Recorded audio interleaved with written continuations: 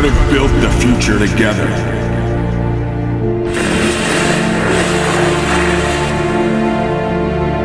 I don't think so.